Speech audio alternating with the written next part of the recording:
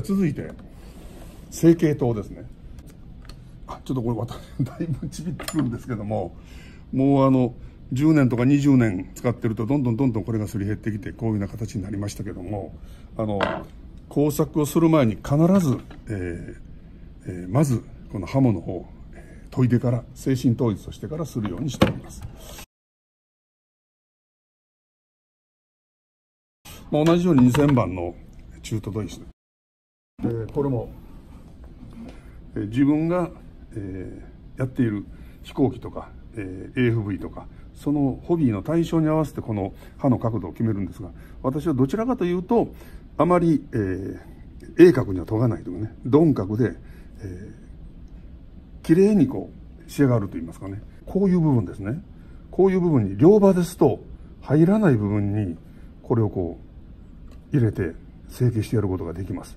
えー、これが両刃ですとね両方ともに、えー切れ味が食い込んでしまいますがこの片刃ですと片方にしか、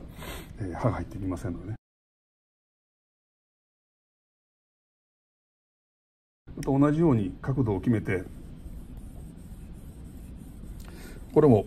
先端とお腹とお尻の方に均等に力が当たっているということを頭の中で想像しながら研いでいきます。しばらくすると親ともが密着するような感覚に襲われます。本当に微妙なことですけどもあ今刃物を研ぎ始めたなということが分かるようになります。皆さんのホビー、えー、皆さんが作業しやすいようにこの刃の角度とそれからこの、えーまえー、当たりの角度とそれから刃の角度そのものですね。これをどういうふうにするのかっていうのは自分で決められたらいいんですけども怖がることなく砥石に向かわれることをお勧めします。まあ、一度やって失敗したらまた直せ 直して研げ研げばいいんでね、えー、いきなり1ミリも2ミリもと、えー、研げたりはしませんので。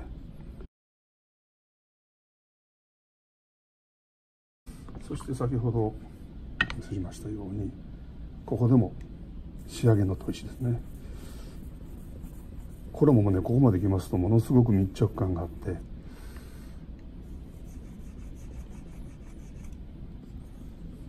研いでることが楽しくなりますよ。こういう部分ですね。90度を出すところとか、えー、こういう部分に両刃ではないこの片刃という非常にこうですかね、えー、繊細な作業ができるようになってます。そして同じように、えー、錆止めをスプレーしておかれてこういうふうにしておかれますといつでも作業ができま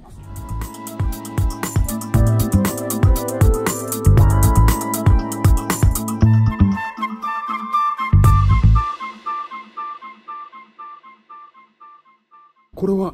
多分もう市販された時のままのような角度を持ってますのでねちょっとこれは荒戸から入りますね。荒戸石です。これはもう荒戸石ですからねザクザクという音がしますがそんなには削れませんので安心してください、えー、自分の好みの角度に設定されてでしばらく使われてやりにくいなと思われたらねまた研ぎ直せばいいんでこの刃物をね研ぐという成形刀とかカンナを研ぐということを覚えられたらものすごくホビーが深まりますからね。楽しいですよ。ここでも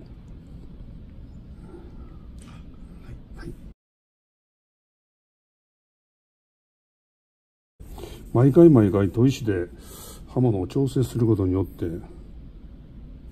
ホビーの喜びがかなり深まります、えー、切れない刃物で加工することほどイライラすることはありませんからね。よく切れる刃物思い通りに使える刃物で加工されることをお勧めします。はい。でこれで仕上げですね。仕上げに入ったら多分見違えるような切れ味になりますよ。このお腹の方はほとんど角度を変えずにねバリというか折り返しを取ってやるぐらいに考えておられて。まあ刃物といってもすぐ疲れますからね、えー、いくつかのパーツを加工されていくうちにすぐに刃が疲れてきて切れなくなりますからその都度その都度ちょっと水を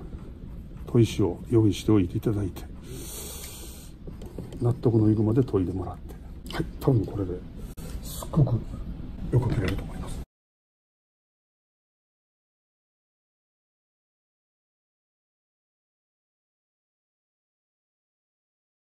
このね先端をちょっと怖いなと思われる方がありましたらねアラートで殺してやればいいです。あんまり先端をねキリキリにやっていくと怪我をするのがどうも心配だなとねいう方もありますのでこの細かい穴を開けたりするのは他の工具に任してやってちょっと殺しておくというね。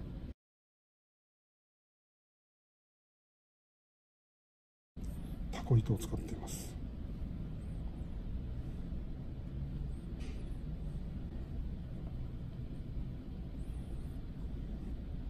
毎回毎回こういう作業をされるとものすごく作業効率が上がって、